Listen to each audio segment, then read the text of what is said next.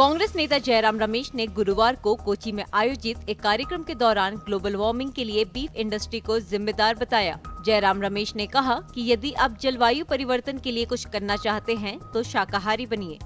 If you want to do something for global warming become vegetarian become vegetarian because I think beef industry has been a culprit in global warming.